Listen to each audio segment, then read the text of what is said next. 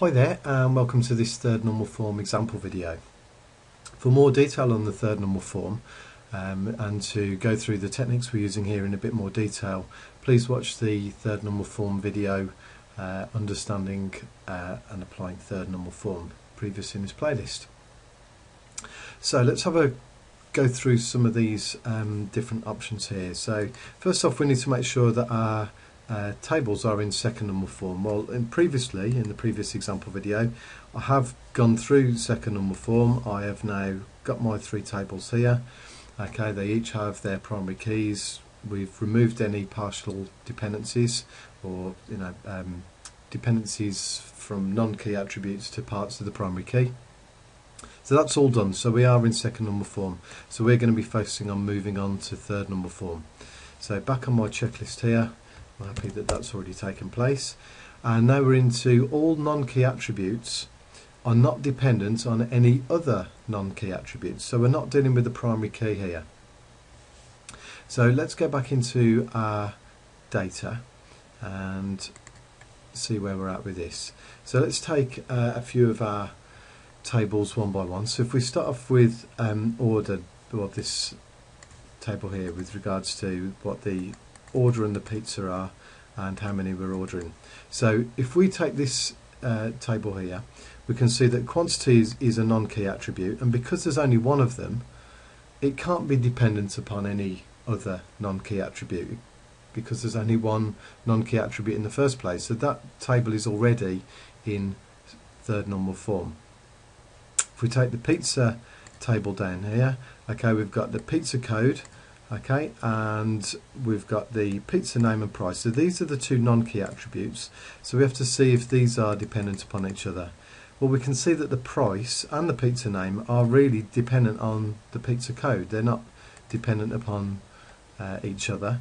And so in this case those are fine as well. And we don't forget what we're looking out for with regards to third normal form is whether we have any identifiers that are outside the primary key, which in this case we don't, whether or not we have any uh, fields which seem to be um, describing something that's not to do with the table.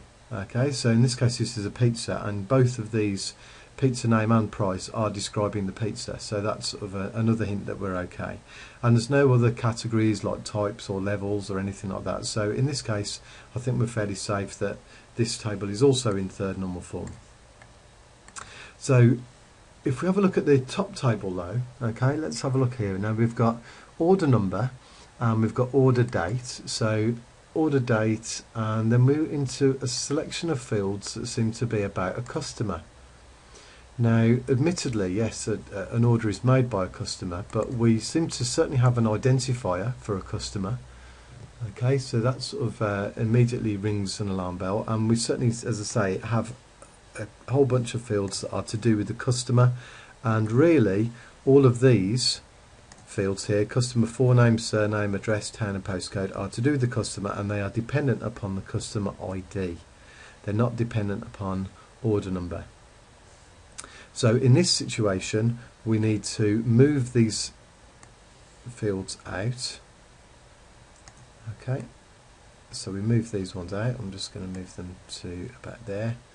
And we also need to, well, if I just move this back over there, and that might help me move this there. Okay. So if I move that out, I also need to take with it a copy of the primary key. So actually that's probably why I, in fact I'll just insert a row there. Okay, so I need to take a copy of the, it's not the primary key, sorry, the field that it was dependent upon. So in this case that is customer ID. So I'm going to copy that and paste that in there. Okay, so my customer or those fields that were dependent upon another non-key attribute, in this case customer ID, have been removed with a copy of that attribute and this is in there. So let's have a look at the total price. Now the total price isn't dependent upon the customer and it isn't dependent upon the order date, which are the two that we were looking at there. Okay, these are the other two non-key fields now. So we're quite happy now that that is in third normal form. So I need to put that into my normalization. So I had uh, order number order date and kept customer ID. Uh, put these in. And also the total price.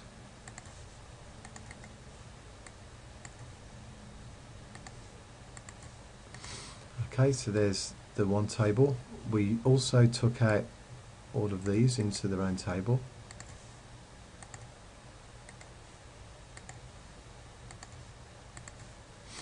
Okay, so this becomes like a customer table. And this was the primary key for that. Okay, and we've got uh, the the other two tables remained the same. So we copy these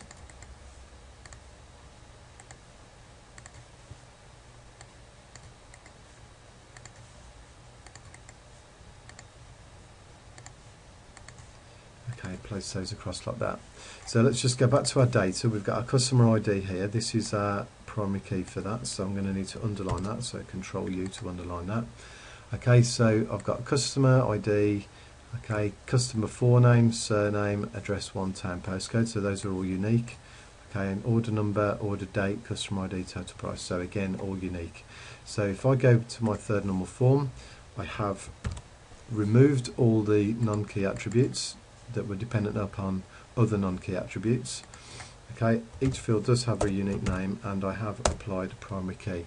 So now that has made my tables into or compliance with third normal form.